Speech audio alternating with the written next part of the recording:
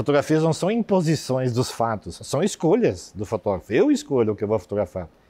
Então, se eu decido fotografar é, o exército A, o exército B, é óbvio que eu estou lhe fornecendo, você leitor, imagens do lado A ou do lado B.